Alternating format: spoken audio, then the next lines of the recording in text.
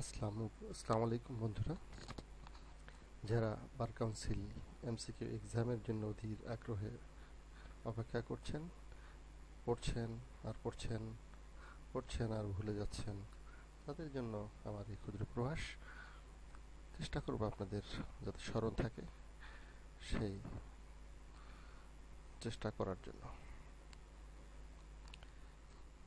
কারণ বই পড়লে অনেক সময় অনেক কিছু আবার ভুলে যেতে হয়, কারণ পড়ে পড়ে মনে থাকে না। কিন্তু শুনলে অনেক সময় খুব সহজেই মনে থাকে। যাই হোক, আমরা দেখি বার কাউন্সিলের এমসিকিউ এক্সামের জন্য সিলেবাসটি, অর্থাৎ এই সিলেবাস কোন সাবজেক্ট থেকে কত মার্কসের কতটি প্রশ্ন থাকবে সেটা একটু দেখি। এখানে the code of civil procedure nineteen eight, এই আইনটি থেকে বিশটি প্রশ্ন এবং বিশ মার্ক থাকবে the specific relief act eighteen seventy seven দশটি কোশ্চেন দশ mark the code of criminal procedure eighteen ninety eight বিশটি প্রশ্ন, বিশ মার্ক পেনাল কোড থেকে বিশটি প্রশ্ন থাকবে ইভিডেন্স অ্যাক্ট থেকে পনেরোটি লিমিটেশন অ্যাক্ট থেকে দশটি এবং বার council orders and rules nineteen seventy two থেকে পাঁচটি প্রশ্ন থাকবে। প্রতি প্রশ্নের প্রতিটি প্রশ্নের জন্য এক মার্ক থাকবে। এই টোটাল একশো মার্কসের পরীক্ষা হবে। এই একশো টোটাল রাইট টোটাল এটি লেখা হয় নাই। আমরা একটু লিখে দিই। Total hundred question, hundred marks. বন্ধুরা, এই একশোটি প্রশ্ন এভাবে আমাদের মানবন্ডন রয়েছে, বার কাউন্সিলের সিলেবাসে, যে সিলেবাসটি বার কাউন্সিলের ওয়েবসাইটে আমরা দেখতে পারি। এটা হচ্ছে আনসার শিট এরকম একটি আনসার শিট আপনাকে পরীক্ষার হলে প্রথমে দেওয়া দেওয়া হবে, যেখানে আপনার একটি একটি একটি করে আস্তে আস্তে এভাবে একশোটি প্রশ্নের আনসারের জন্য ঘর পূরণ করতে হবে। এই একশোটি প্রশ্নের উত্তর দেওয়ার জন্য আপনি পাবেন ষাট মিনিট সিক্স জিরো অর্থাৎ সিক্সটি মিনিটস এই ষাট মিনিটের মধ্যে আপনাকে একশোটি প্রশ্নের উত্তর দিয়ে আসতে হবে। বন্ধুরা বুঝতেই পারছেন, সময় খুব কম। না পড়ে গেলে কিন্তু এই একশোটি প্রশ্নের উত্তর এই সময়ের মধ্যে দেওয়া কঠিন হবে। কিন্তু পড়ে গেলে অবশ্যই সহজ হবে। ঠিক আছে, এবার আমরা একটু পড়ার চেষ্টা করি। যেহেতু এমসিকিউ আমরা শর্ট আকারে লিখেছি, একটু আলোচনার মাধ্যমে মনে রাখার চেষ্টা করব। দেওয়ানি কার্যবিধির সম্পূর্ণ নাম কি? বাংলায় এটির সম্পূর্ণ নাম দেওয়ানি কার্যবিধি উনিশশো আট। ইংলিশে এটাকে বলা হয় the code of civil procedure nineteen eight একটি প্রশ্ন এরকম হতে পারে। অত্যন্ত সহজ প্রশ্ন, অনেকে ভাবতে পারে কেন? এরকম প্রশ্ন আবার কেন টিউটোরিয়ালে কিন্তু বন্ধুরা, এই সহজ প্রশ্নই অনেক সময় ভুল হয়ে যায়। যাই হোক, দুই নম্বর প্রশ্ন, দেওয়ানি কার্যবিধি কখন প্রবর্তিত হয়?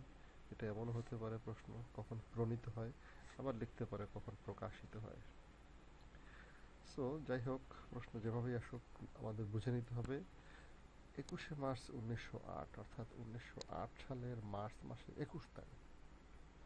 এই দেওয়ানি কার্যবিধিটি প্রকাশিত হয়, প্রণীত হয় বা প্রবর্তিত হয়। বন্ধুরা তারিখটি মনে রাখতে হবে। একুশে মার্চ উনিশশো আট। নেক্সট কোশ্চেন দেওয়ানি কার্যবিধি সর্বপ্রথম কখন প্রকাশিত হয় হ্যাঁ ইম্পর্টেন্ট কোশ্চেন আঠারোশো উনষাট সালে সর্বপ্রথম দেওয়ানি কার্যবিধি প্রকাশিত হয়। এরপরে আঠারোশো সাতাত্তর সালে দেওয়ানি কার্যবিধি প্রকাশিত হয়। আঠারোশো বিরাশি সালে আবার দেওয়ানি কার্যবিধি প্রকাশিত হয়, অর্থাৎ সংশোধিত হয়।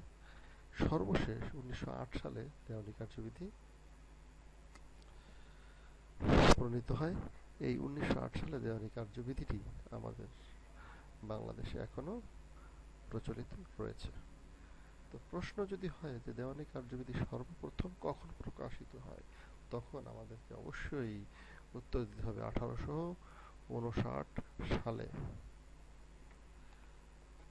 এরপর দেওয়ানি কার্যবিধি উনিশশো আট সালের কত নম্বর আইন মনে রাখতে হবে বন্ধুরা, পাঁচ নং আইন দেওয়ানি কার্যবিধি উনিশশো সালের পাঁচ নং আইন আরেকটি গুরুত্বপূর্ণ প্রশ্ন হচ্ছে, দেওয়ানি কার্যবিধি কখন থেকে কার্যকর হয়?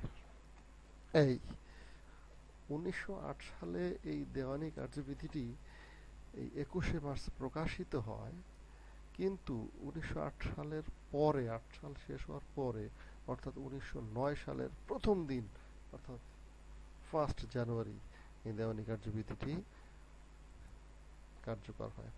অর্থাৎ পহেলা জানুয়ারি উনিশশো সাল থেকে এই দেওয়ানি কার্যবিধিটি কার্যকর হয়। এরপরে আমরা আরও কিছু প্রশ্ন দেখার চেষ্টা করি। দেওয়ানি কার্যবিধি কি ধরনের আইন? এটি একটি পদ্ধতিগত আইন ও কার্যপ্রণালী সংক্রান্ত আইন। পদ্ধতিগত আইন বলা হয়েছে, আইন এর প্রকারভেদ যদি আমরা দেখি তাহলে দুই প্রকার substantive law and procedural law that means substantive law হচ্ছে মূল আইন প্রসিজারাল প্রসিজারাল ল হচ্ছে পদ্ধতিগত আইন। দেওয়ানি কার্যবিধির নামটা আমরা যদি দেখি, আমরা প্রথমেই যে প্রশ্নটা পড়েছি, এই আইনটির পুরো নাম কি? যার ইংলিশে পুরো নাম হচ্ছে the code of civil procedure civil means দেওয়ানি প্রসিজার মানে কার্যবিধি। অর্থাৎ প্রসিজার অর্থাৎ পদ্ধতিগত আইন, এই আইনটির নাম থেকেই বোঝা যায় যে এটা হচ্ছে প্রসিজারাল ল যেহেতু এটির নাম the code of civil procedure so এই আইনের নাম থেকেই বোঝা যাচ্ছে এটি প্রসিজারাল ল বন্ধুরা, আপনাদের মনে রাখার সুবিধার্থে আমি এটুকু বলার চেষ্টা করলাম। যাই হোক দেওয়ানি কার্যবিধি একটি পদ্ধতিগত আইন ও কার্যপ্রণালী সংক্রান্ত আইন। কার্যপ্রণালী সংক্রান্ত আইন কেন কেন বলা হচ্ছে? পরবর্তীতে আলোচনায় বিষয়গুলো ক্লিয়ার হবে। কারণ দেওয়ানি কার্যবিধিতে কতটি ধারা আছে একটা প্রশ্ন হতে পারে। উত্তর হচ্ছে একশো আটান্নটি ধারা। এখন উনিশশো সালে, বন্ধুরা, আমরা দেখেছি দেওয়ানি কার্যবিধি সর্বপ্রথম প্রকাশিত হয় আঠারোশো উনষাট সালে। এরপর বেশ কয়েকবার সংশোধিত হয়েছে, পরিমার্জিত হয়েছে। এর মধ্যে আঠারোশো বিরাশি সাল একটি ইম্পর্ট্যান্ট সাল এই সালে যে যেই সালে দেওয়ানি কার্যবিধি সংশোধিত হয়ে একটি বৈপ্লবিক পরিবর্তন এনেছিল। হ্যাঁ সেটা সরি বৈপ্লবিক পরিবর্তন এনেছিল উনিশশো আট সালে, সর্বশেষ দেওয়ানি কার্যবিধি যখন প্রকাশিত হয়। কিন্তু এখানে একটা প্রশ্ন আছে, আঠারোশো বিরাশি সালে দেওয়ানি কার্যবিধিতে মোট কতটি ধারা ছিল? মোট ধারা ছিল তখন ছয়শো তেপ্পান্নটি। এই যে ছয়শো তেপ্পান্নটি ধারা, এতগুলো ধারা কিন্তু বর্তমানে এই যে দেওয়ানি কার্যবিধি, এটাতে ধারা হচ্ছে একশো আটান্নটি। কেন? কারণ এই আঠারোশো বিরাশি সালের এই ছয়শো তেপ্পান্ন ধারা বিশিষ্ট যে দেয়ানি আইনটি ছিল, সেটিকে ব্যাপক পরিবর্তন এবং সংশোধন করে উনিশশো আট সালে আট একশো আটান্নটি ধারা রাখা হয়।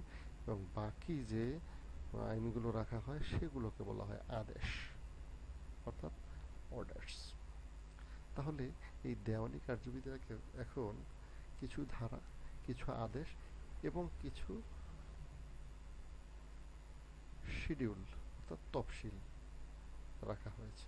কিছু ধারা, কিছু আদেশ, কিছু তফসিল। অর্থাৎ মোট একশো আটান্নটি ধারা আছে বর্তমান দেওয়ানি কার্যবিধিতে। একান্নটি আদেশ রয়েছে এবং পাঁচটি তফসিল রয়েছে। যাই হোক, প্রশ্ন হতে পারে, আঠারোশো বিরাশি সালে দেওয়ানি কার্যবিধিতে মোট কতটি ধারা ছিল? সেটার উত্তর হবে ছয়শো তেপ্পান্নটি। বর্তমানে যদি বলা হয় যে দেওয়ানি কার্যবিধিতে কতটি ধারা আছে? একশো আটান্নটি। ধারাগুলো পরিবর্তন ও সংশোধন করতে পারে কে? প্রশ্ন হতে পারে বন্ধুরা ইম্পর্টেন্ট প্রশ্ন। দেশের যে আইনসভা, অর্থাৎ যে জাতীয় সংসদ, এই জাতীয় সংসদ দেওয়ানি কার্যবিধির এই যে একশো আটান্নটি ধারা আছে, এই ধারাগুলো সংশোধন, পরিবর্তন ও পরিমার্জন করতে পারে, অন্য কেউ পারবে না। কিন্তু দেওয়ানি কার্যবিধিতে মোট আদেশ আছে একান্নটি। বন্ধুরা, এখানে আরও একটি প্রশ্ন হতে পারে, এই দেওয়ানি কার্যবিধির আদেশগুলো সংশোধন ও করতে পারে এটা কিন্তু করতে পারে সুপ্রিম কোর্ট। সুপ্রিম কোর্টকে এই পাওয়ার দেওয়া হয়েছে। কীভাবে দেওয়া হয়েছে? এই দেওয়ানি কার্যবিধির একশো বাইশ ধারায়, একশো বাইশ ধারায় এই কথাটি উল্লেখ করা আছে যে সুপ্রিম কোর্ট দেওয়ানি কার্যবিধির আদেশগুলো সংশোধন পরিবর্তন করতে পারবে। এই ক্ষমতা দেওয়া হয়েছে।